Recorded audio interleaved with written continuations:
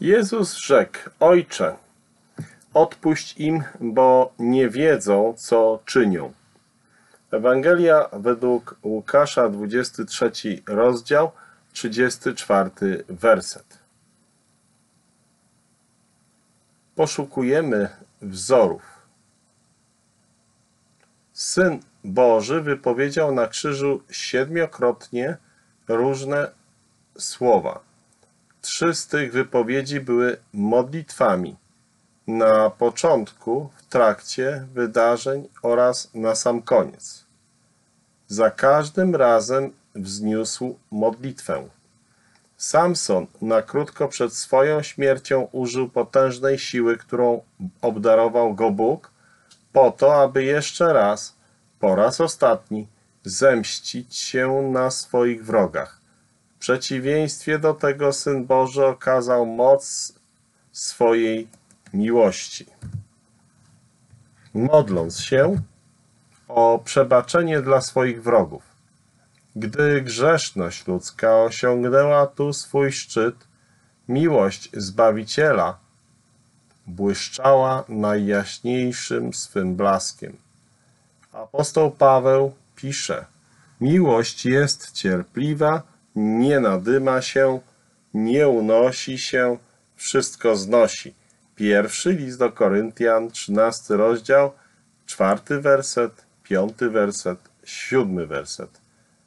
Do swoich uczniów Pan Jezus Chrystus, mistrz, powiedział kiedyś tak: Miłujcie nieprzyjaciół waszych i módlcie się za tych, którzy was prześladują. Ewangelia według Mateusza, 5 rozdział, 44 werset. W najcięższych możliwych okolicznościach On, który tego nauczał, teraz wypełnił to w rzeczywistości, ponieważ nie tylko nauczał słowem, ale nieprzerwanie, praktycznie sam trwał w tym, o czym mówił. Jan pisze, łaska i prawda stała się przez Jezusa Chrystusa. Tak czytamy w Ewangelii Jana, pierwszy rozdział, 17 werset.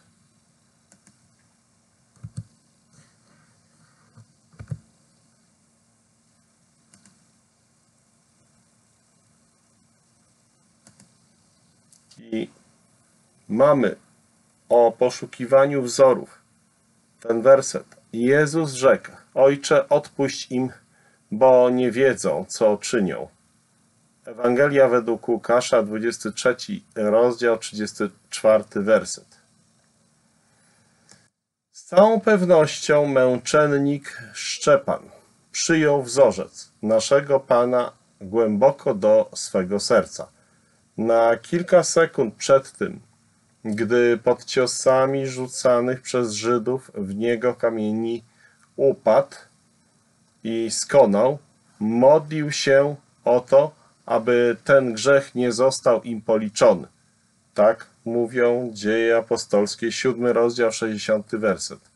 Niemniej i tu zaznacza się pewna różnica wobec jego mistrza.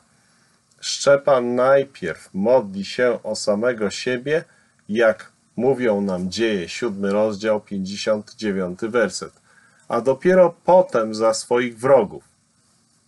W przypadku Pana Jezusa Chrystusa było odwrotnie.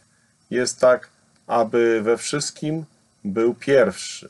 Tak czytamy w liście do Kolosan, pierwszy rozdział, 18 werset.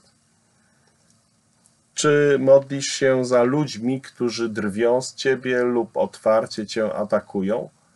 Jak dalece dążysz do tego, aby pod tym względem być bardziej podobnym do Pana Jezusa poprzez to, by stać się dla innych wzorcem do naśladowania? Salomon pisze: Pociągnij mnie za sobą, pobiegnijmy. Tak jest pieśni nad pieśniami, pierwszy rozdział, czwarty werset. Słowa pouczają, wzór pociąga do naśladowania.